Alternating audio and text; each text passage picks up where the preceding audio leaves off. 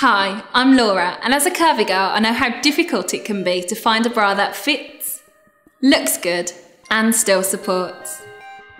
A whopping 80% of women are still wearing the wrong size bra, and I want to show you the Brastop DIY guide to fitting yourself in the comfort of your own home.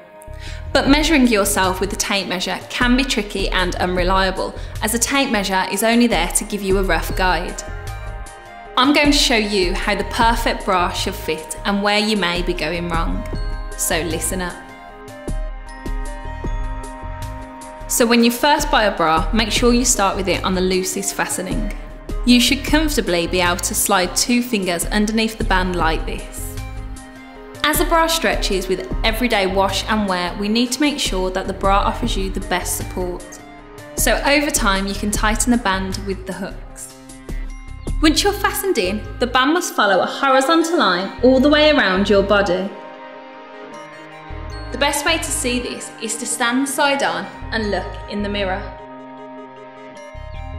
As well as changing your posture, the firm back band will give you extra support and lift your boobs.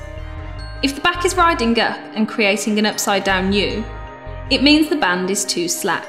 It should fit comfortably in place and not slip your new back band may feel odd at first, but I promise you it's offering you the best support and you'll get used to the new snug fit.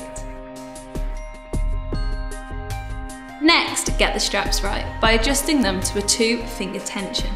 Make sure you don't tighten them for uplift. The strap should only take 20% of the weight of your boobs. It's the back band that needs to give the most support and uplift. They should sit firmly in place without leaving any red marks.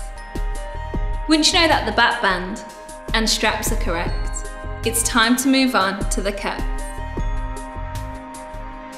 The cup should lift, support, and shape your boobs, just like this.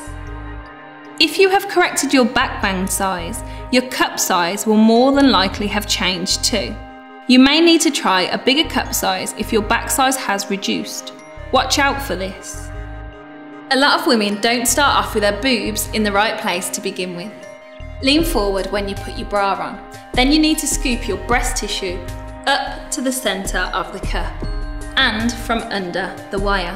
Then it's time for a little jiggle and now you're not caught, it's time to get to work.